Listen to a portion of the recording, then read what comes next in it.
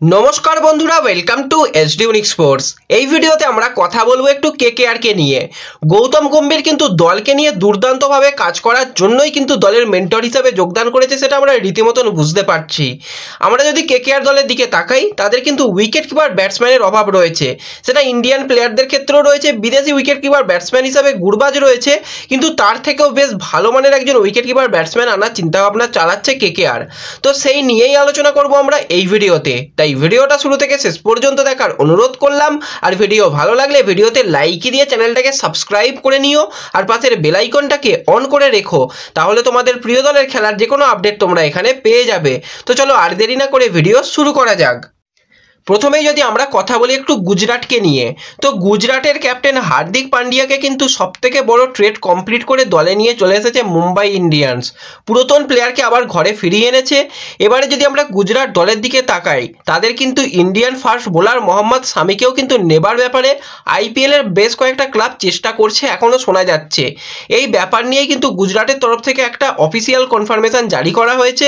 সেখান থেকে তারা জানিয়েছে, মোহাম্মদ স্বামীকে নেবার ব্যাপারে বেশ কয়েকটা ক্লাব কথাবার্তা বলছে, কিন্তু একটা ক্লাব সরাসরি স্বামীর সঙ্গে কথাবার্তা বলার চেষ্টা করছে, যেটা কিন্তু তারা একদমই পছন্দ করছে না।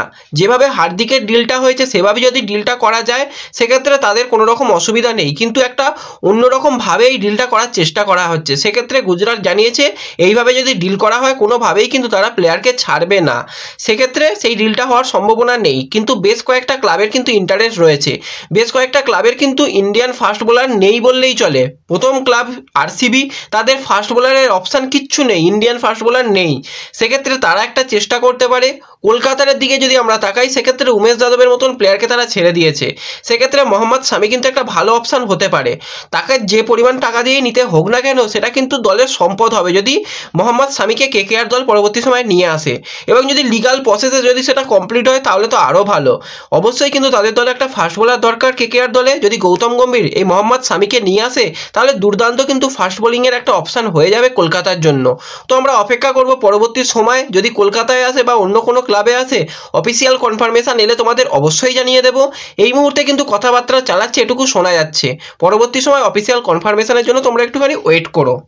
এরপর যদি আমরা কথা বলি এলএসডি দলকে নিয়ে, তো এলএসডি দলের সঙ্গে এখনও কিন্তু হায়দ্রাবাদের কথাবার্তা চলছে মায়াঙ্কে নেবার ব্যাপারে। এখনও কিন্তু ডিলটা ভেস্তে যায়নি।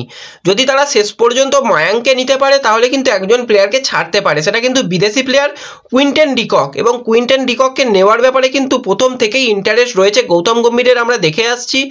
তাকে কিন্তু যে কোনো মূল্যে দলে নিতে চাইছে। কারণ একজন বিদেশি উইকেট কিপার ব্যাটসম্যানের সঙ্গে সঙ্গে দলে কিন্তু চলে আসবে একজন অভিজ্ঞ ওপেনার সেক্ষেত্রে ক্ষেত্রে ওপেনিং জুটিটা দুর্দান্ত হবে। জেসন রয়ের সঙ্গে গুরবাজের উপর অতটাও ভরসা দেখাতে চাইছে না। তো সেক্ষেত্রে কুইন্টেন ডিককের আসার সম্ভাবনা এখনও রয়েছে। বারো তারিখ পর্যন্ত সময় রয়েছে, হাতে এখনও কয়েকটা দিন রয়েছে। তো সেক্ষেত্রে এই কয়েকদিনের মধ্যে যদি ডিলটা ডান হয়, তাহলে খুব ভালো ডিল হবে এবং তোমরা অবশ্যই কমেন্টে জানিও যে ডিকককে দলে নেওয়া উচিত কিনা। এখনও কিন্তু ডিলটা ভেস্তে যায়নি। এখনও সম্ভাবনা পর্যায়ে রয়েছে এবং যথেষ্ট হাই চান্স রয়েছে। কয়েকটা দিন এখনও সময় দিতে হবে এই ডিলটা ডান হওয়ার জন্য। তো একটু সময় দিলে হয়তো ভালো সুখবরই আসতে চলেছে। হচ্ছে কেকেআর দলের জন্য। এরপর যদি আমরা কেকেআর দলের ইন্ডিয়ান উইকেট কিপার ব্যাটসম্যানের দিকে তাকাই, সেক্ষেত্রে সেইভাবে কিন্তু ইন্ডিয়ান উইকেট কিপার ব্যাটসম্যান নেই। নারায়ণ জাগদিশান যে ছিল তাকে কিন্তু ছেড়ে দেওয়া হয়েছে। সেইভাবে অপশান কিন্তু খুব একটা নেই। এক্ষেত্রেই কিন্তু কেকেআর দল রীতিমতন ট্রায়াল নেওয়া শুরু করে দিয়েছে। দুজন প্লেয়ারকে ট্রায়ালের মধ্যে রেখেছিল তার মধ্যে প্রথম যে প্যাটেল সেটা হচ্ছে দুর্দান্ত প্লেয়ার সেটা হচ্ছে উর্ভিল প্যাটেল। এই উর্ভিল প্যাটেল কিন্তু গত বছরে ছিল গুজরাট দলে, এবছরে গুজরাট তাকে রাখেনি, তাকে ছেড়ে দিয়েছে। তো সেক্ষেত্রে খুবই পছন্দ হয়েছে চন্দ্রকান্ত পণ্ডিতের, তাকে চাইছে। পরবর্তী সময় অকশানে তা সে অবশ্যই নাম দিয়েছে অকশান থেকে তাকে তোলার একটা চেষ্টা করছে।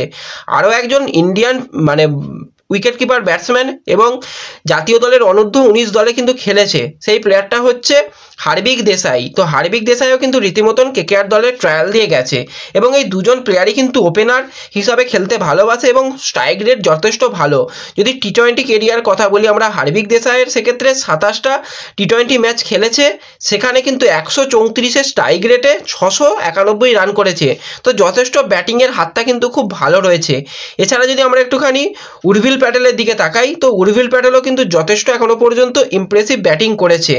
একশো পঞ্চান্ন স্ট্রাইক রেট তার মানে বুঝতেই পারছ কতটা বিধ্বংসী ব্যাটিং করে। পুরো রিঙ্কু সিংয়ের মতন কিন্তু ব্যাটিং করে এই উর্ভিল প্যাটেল। একচল্লিশটা ইনিংস খেলেছে, সেখানে আটশো সাতচল্লিশ রান করেছে। তো খুবই ভালো অপশান হতে চলেছে কেকেআর দলের জন্য। এই দুজন প্লেয়ারের মধ্যে যে কোনো একজন প্লেয়ারকে কিন্তু এবছরে আমরা কেকেআরের জার্সি গায়ে দেখতে পেতে চলেছি। তোমরা অবশ্যই কমেন্টে জানিও এই দুজন প্লেয়ারের মধ্যে কোন প্লেয়ারকে কেকেআর নিলে তাদের দলের শক্তি আরও বৃদ্ধি পাবে তো এই ভিডিওতে এইটুকুই ছোট্ট আপডেট তোমাদের সঙ্গে শেয়ার করার ছিল। ভিডিও ভালো লাগলে ভিডিওতে লাইক করে দিও। চ্যানেলে প্রথমবার এলে চ্যানেলটাকে সাবস্ক্রাইব করে দিও এবং ভিডিও সকলের সঙ্গে একটু শেয়ার করে দিও।